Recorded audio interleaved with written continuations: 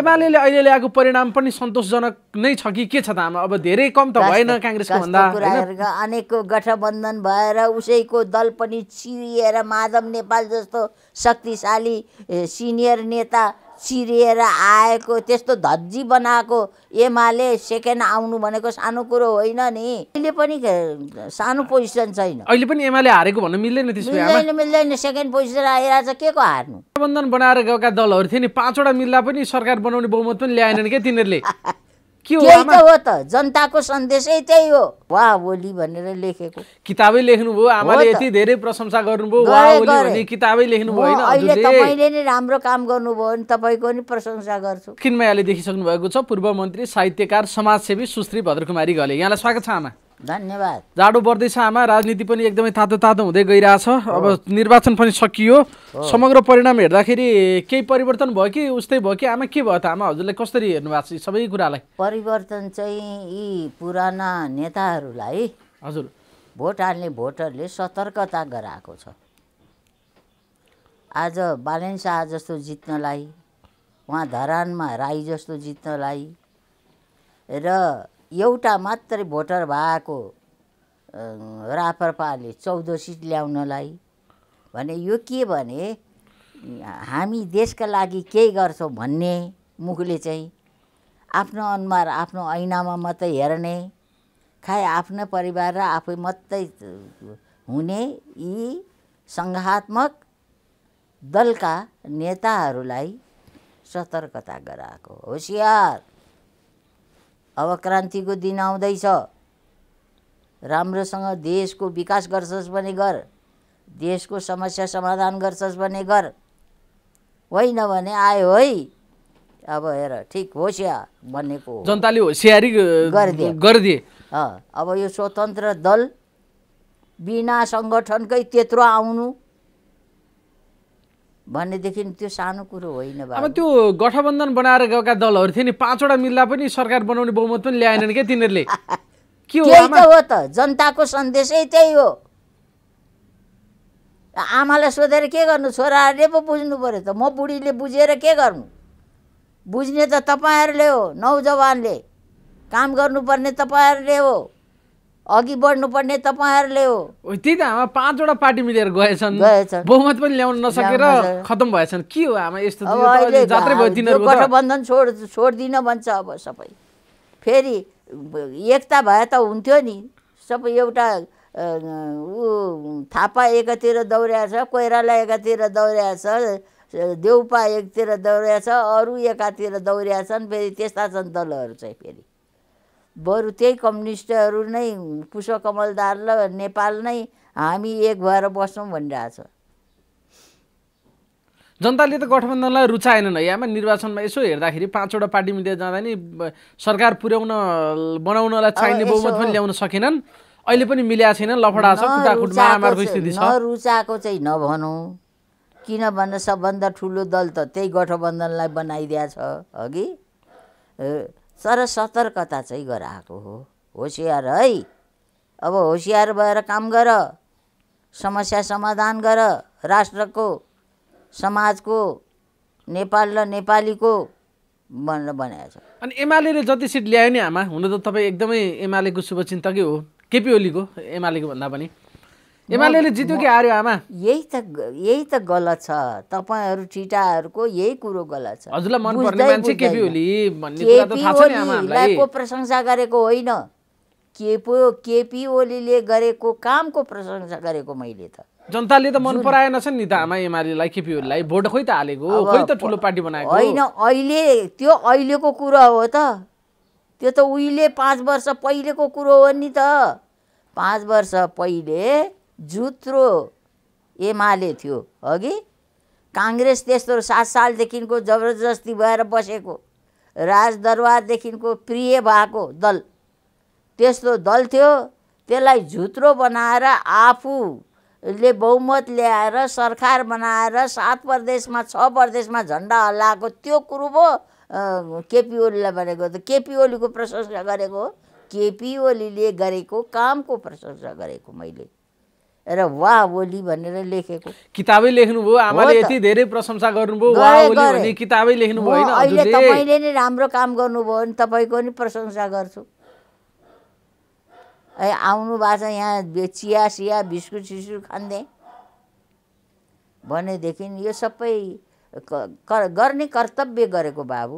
एउटा नेपालीले देशको लागि समाजको लागि गर्ने कर्तव्य गरेको एमाले अहिले ल्याएको परिणाम पनि सन्तोषजनक नै छ कि के छ त अब धेरै कम त भएन काङ्ग्रेसको भन्दा।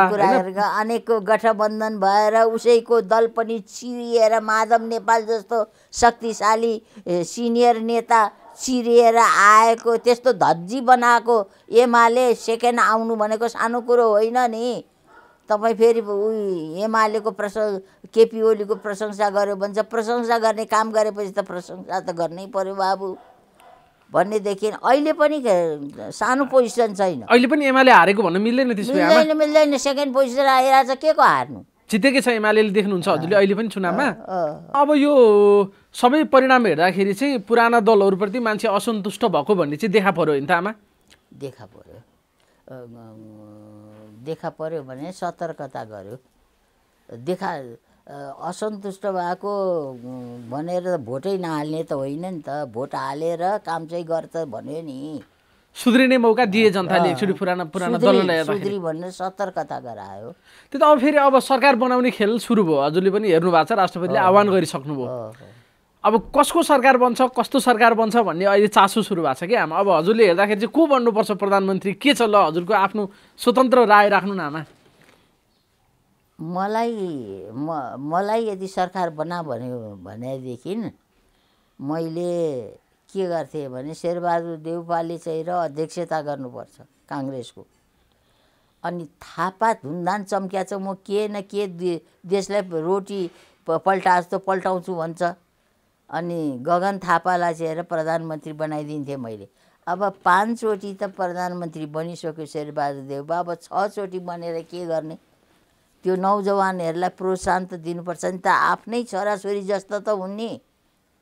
त्यो गगन थापालाई प्रधानमन्त्री बनाइदिएर लु देशाक भनेर ठिटाहरूलाई अघि लाउनु पर्छ लाएर गए हुन्थ्यो। म भए त्यसो गर्थेँ। युवाहरूलाई अगाडि बढाउनु पर्यो भन्ने भन्ने। कुरा चाहिँ हजुरको छ जे? भएका युवै युवाहरू बुढाहरूलाई चाहिँ सबै पदाधिकारीमा राखेर युवाहरूलाई मन्त्रीमण्डलमा हालेर लो देश हाँक भन्ने भनेर भन्नु पर्थ्यो। भन्ने त्यस्तो मेरो चाहिँ चाहना। यदि मलाई लु मन्त्रीमण्डल गठन गर भन्दा म त त्यसरी गर्थेँ बाबु।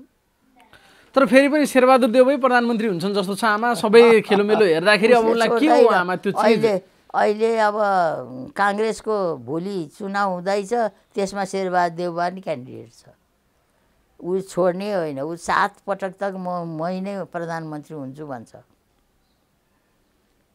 त्यही भएर त देशको विकास नभएको नि बाबु।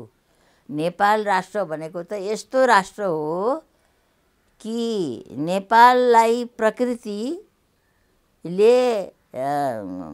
ने, नेचरले अञ्जुलीभरि उठाएर नेपाललाई दिए दिएको छ। उन्नति प्रगति गर्ने सबै चिजहरू केही चिजको कमी राखेको छैन। न त्यसलाई तपाईँ हामीले बुझेको छ। नेपालीले त नेपाललाई बुझेकै छैन। ऊ सबै पचास लाख नेपाली आज आज मजदुरी गर्न गएको छ विदेशमा। भनेदेखि त्यस्तो गरिकन हाम्रो देश यस्तो देश हो कि पहिले यो सारा व्यवहार चल्नु भन्दाखेरि आफ्नै देशको सि साग सिस्नु ढेँडो निङ्ग्रोले हामी भरपुर थियौँ। यो अब तपाईँहरूलाई कति दो दोहोऱ्याउँ? एक रुपियाँको दस पाती धानको चामल खाएकी बुढी मै हुँ। छ पैसा माना फुले मानाको घिउ खाएकी बुढी मै हुँ। एक रुपियाँ फुत फ्याँकेर कुखुराको भाले खाने मान्छे नि मै हुँ। भने त्यसरी हाम्रो देशमा सबै सम्पन्न थियो देश। भने आज देश यस्तो पार्यो आज केही छैन। एक माना चामल चाहियो भने विदेशीसँग माग्नुपर्छ बिक। शेरबहादुर देवाललाई रेकर्ड बनाउनलाई प्रधानमन्त्री भइराखे पुग्यो। भने त्यस्तो रेकर्ड मात्र बनाउने हुँदैन यो नेताहरूलाई। कस्तो कुरा गर्नु भएको यस्तो देश बनाउनुलाई आज पूर्ण परावलम्बी। केही चिजमा छैन नाते प्याजको गेडा। खोर्सानीको ढेँडीमा हामी परावलम्बी रायोको सागको बिटो त्यो भारतले नदिनु जेलसम्म हामी खान पाउँदैन तरकारी। त्यस्तो स्थितिमा देश बनाएको छ त्यस्तो स्थितिमा तपाईँ हामीलाई पुऱ्याएको छ। भने त्यस्तो स्थितिमा देशलाई बनाउने यो देश बनाउने मान्छेहरू हो। यिनीहरूलाई कुर्सी चाहिँ किन यति धेरै प्यारो भएको होला? आमा बसेको ठाउँबाट उठ्न नसक्ने भइसक्यो र्याल चुहाउने अर्काले बोकेर ला लिएर हिँडिदिनु पर्ने भइसक्यो तर प्रधानमन्त्री चाहिँ मै हुनु पर्यो त्यो कुरो आफूहरूले आफू आफैलाई सोध्नुहोस् न। किन यस्तो यस्तो लोभ किन भयो होला? हजुर पनि मन्त्री भएको मान्छे त्यो जमानामा अनेक चिजहरू एउटा राजनीतिको अनुभव छ समाजको अनुभव छ। मान्छे पदमा पैसा हट्नै नमान्ने कि? आमा के हो त्यही भएर म पनि राज्य मन्त्री त भएको चार पाँचचोटि पञ्चायती व्यवस्थाको मान्ने भएको। उनीहरूलाई कालो पञ्चे भन्छ ए एउटा पञ्चायतका पञ्चहरूलाई काले कालो बनाउनु सक्यो त्यसले? यसले घुस खाएको यसले यस्तो काम गलत काम गरेको भनेर देखाउनु सक्यो? यो अहिलेको दलहरूले? उनीहरूको हातमा छ सबै। हामी के छौँ? पञ्चायत पञ्च पञ्चायतमा काम गर्ने मान्छेको हातमा केही छ? भनेदेखि उनीहरूले चाहेदेखि सबै पञ्चहरूलाई जेल हाल्नु सक्छ नचाहिँदो काम गर्नेलाई। हामीले नचाहिँदो काम गरेकै छैन कहिले पनि। घुस खाएकै छैन। जनतालाई हामीले ठगेकै छैन। जे काम गऱ्यौँ इमान्दारीपूर्वक काम गरेर र हामीले ल्याएको जागृतिमा उनीहरू भाले भएछन् अहिले। ए यसो गऱ्यो हामीले ए यसो गरेर भन्छ। त्यहाँ पनि अब प्रचण्ड र शेरबहादुर देउवाको को प्रधानमन्त्री भनेर मारामार सुरु भएको छ नि आमा। टिक्दैन क्या यो गठबन्धन पनि? कस्तो लाग्छ हजुरलाई? प्रचण्डलाई पनि चाहियो तापनि शेरबहादुरलाई पनि चाहियो अरे तँ कि म भनेर पुष्पकमल चलिरहेको छ दाहाल पुष्पकमल दाहाल शेरबहादुरले एकेर हकार्यो भने चुप्पो लाग्छ उनी सौ मान्छे हो त्यत्रो रक्त क्रान्ति गरेर आएका मान्छे राजासँग मिलेर काम गरे अहिले देउपासँग गठबन्धनमा छ भने यतैबाट ऊ कति झुक्नु सक्छ कति सफ्टनेस छ त्यसबाट तपाईँ थाहा पाउनुहोस् न कुनै पनि का राम्रो काम गर्नेलाई मिलनसार भएरै जान्छ। उसले के टप टु बटम के भन्छ भन्छ नि? त्यस्तो मैले केही गरे भनेको छुइनँ मेरो दललाई भनेर भनेको छ। भने प्रधानमन्त्री नपाए पनि चुप लागेर प्रचण्ड बस्छन् गठबन्धनमै भन्ने लाग्यो। हो आमालाई होइन, कि त्यहाँबाट निक्लेर एमालेसँग मेरो पछि तिमी हुन् हौला भनेर फकाउला यसो उसो गरेर फकिन्छ त्यो मान्छे। सल्लाह सल्लाहमा आउँछ। कतिपयले चाहिँ काङ्ग्रेसलाई छोडेर एमालेतिर गठबन्धनमा आउने हो कि त्यतातिर कुरा नमिलेपछि भन्ने पनि अनुमान गरेका छन् क्या आमा। हजुरलाई त्यस्तो लाग्छ? त्यस्तो प्रचण्ड त फेरि यताउता फड्किरहने त्यो मान्छे हो नि त। त्यो त मुख सुँगिसक्यो। उसले एमाले प्र उसलाई भनिसक्यो पुष्पकमल दाहाललाई अस्ति नै कुराकानी गरिसक्यो तर आउला जस्तो छैन। काङ्ग्रेससँगै बस्ने तपाईँले देखेको फेरि शेरबहादुर देउबै प्रधानमन्त्री हुँदैछन् यो नेपालको होइन आमा शेरबहादुर देउबा नै हो अब पनि प्रधानमन्त्री? नभएर अघि मैले भने जस्तो नौजवानहरूलाई दियो भने उसको राम्रो हुन्छ। उसलाई मान्छेले गन्छ। तर उसलाई गनेर के गर्नु? आफै गरिदिनु आफ्नो इच्छा पूर्ण पूर्ति गर्नु ऊ चाहिरहेछ। अब जस्तो अब अलिकति कुरा चाहिँ हजुरले अघि भन्नुभयो कुनै सङ्गठन नभएको पनि स्वतन्त्र पार्टीले जति मत लिएर आयो नि आमा घन्टी पार्टीको कुरा गरेको। यो चाहिँ अलि अचम्मै भयो नि मान्छेले होइन? बिना राजनीति बिना सङ्गठन ल्याए यो चाहिँ के के कारणले गर्दा यो घन्टी पार्टीले यति धेरै भोट ल्याउन सफल भयो आमा अहिले? यो भोटरहरूमा जुन प्रकारको अहिलेको का, का राजनीति दलहरूप्रतिको वितृष्णा प्रकट गरेको हो त्यो।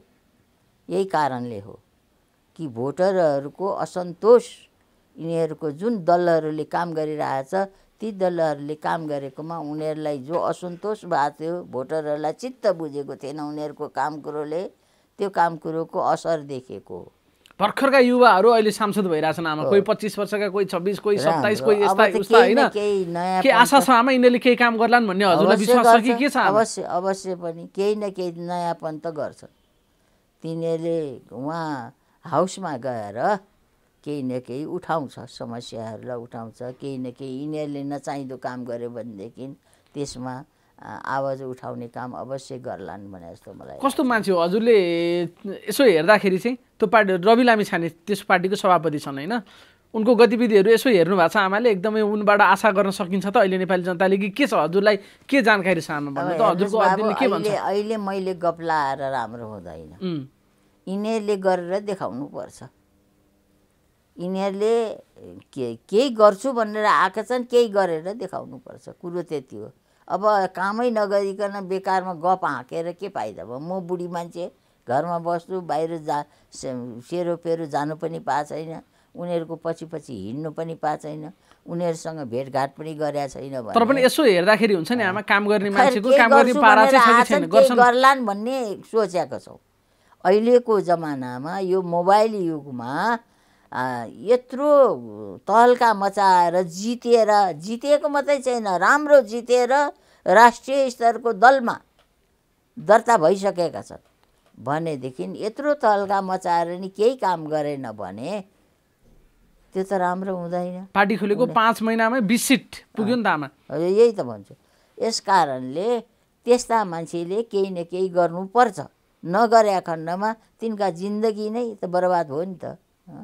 राप्रपाले पनि एक सिटबाट चौध सिट पुर्यायो। राजेन्द्र लिङ्गदेन त्यहाँको अध्यक्ष धेरै पछाडि। राम्रो मान्छे फेरि फर्के क्या हो? यो राजावादी पार्टीतिर लाग्न थाले क्या हो मान्छेहरू? नलाग्ने भन्ने त कुरै छैन। राजाले हाँकेर बसेका राजाले सब पहिले त राजावादी नै त थियौँ नि हामी सबै। अहिले चाहिँ यो रवि लामी छानेको जुन नागरिकताको विवाद पनि आइरहेछ हजुरलाई थाहा छ आमा त्यो विषयमा? उनको चाहिँ छ, नागरिकता के छ, के के के के हो त? अब यो कुरामा हजुरको धारणा चाहिँ के छ त? उनले चाहिँ पहिला अमेरिकाको नागरिकता लिएका थिए पछि त्यागे। मान्छे यही त भन्छु नि झिङ्गा माउरीहरू के मारेर लोभमा पर्छ अरे के? अनिखेरि त्यो अलिकति खाएर नपुग्ने अनि उहीँ डुब्छन् रे। त्यस्तै रवि लामछानेजीले पनि केही गरी चुनाव हार्यो भने फेरि अमेरिकै फर्कन्छु भन्ने राखेर देखाउनु चाहिँ उहाँले देखाएको छ क्यारे देखाएको। त देखाएपछि त ती निर्वाचन आयोगले या कानुनचीहरूले यस्तो गर्नुपर्छ भनेर भन्नुपर्छ नि। खैर त्यो उहाँले अमेरिकाको नागरिकता त्यागेर यहाँ लिनु भएन भन्छन् क्या थाहा नपाएको कुरो हामीले नगरौँ। कानुनको कुरो चाहिँ त तपाईँ हामीलाई त त्यतिको ज्ञान छैन नि। त्यो कानुनको कुरो अब कानुनले गर्छ। के कति मान्छेले चाहिँ उनलाई फसाउनलाई यस्तो कुरा गरे कि अथवा उनको लोकप्रियता देखेर चाहिँ डाड गरेर यस्तो गरे कि पनि भन्छन् कि आमा हो त। हजुरलाई यो बारेमा थाहा छैन कानुनी सन्दर्भहरू के कसो भइरहेछ। अब अब एकदमै केही देश स्थिर होला विकास होला भनेर हामीले अपेक्षा गर्न सक्छौँ आमा? उही नेपाली हो हेर्नुहोस् हामी उही नेपालीहरू हौँ। यस कारणले एकदमसँगले तर केही सुधारेर त लिएर जाल्ला नि। आज ऊ पनि के अर्को एउटा उसलाई उपेन्द्रलाई हराएर आउने के? सिके राउत। सिके राउत आएको छ। कैयौँ वर्ष अमेरिका बसेको मान्छे अरे यो रवि लामछाने पनि बेस देश बेसरी देश विदेश घुमेका मान्छे अरे भनेदेखि यस्ता मान्छेहरूले चुनाव लडेर देशको लागि समाजको लागि नेपाल र नेपालीको लागि केही गर्छु भनेर आएको छ। केही त गर्ला नि त। केही ग नगरे त फेरि यिनीहरू आएको केही नयाँ अनुहारहरू आएका कारणले गर्दाखेरि पनि केही आशा आशा चाहिँ गर्न सकिन्छ। गर्नुपर्छ। तर पनि बाबुले त पुरानै पार्टीहरूका छन् उनीहरूकै रगजग छ। अब सरकार बन्ने कि नबन्ने कस्तो बन्ने फेरि जति नयाँ आए पनि देउवा नै प्रधानमन्त्री भए पछाडि त के आशा गर्न सकिन्छ र होइन? उहाँ प्रधानमन्त्री भए पनि केही न केही गर्नेले त गर्छन् नि त। गर्नेले गर्छन्। हस् हस् आमा महत्त्वपूर्ण समय दिनुभयो। तपाईँलाई धेरै धेरै धन्यवाद छ है। धन्यवाद। यसरी यहाँहरूले पनि सोधिदिनु भयो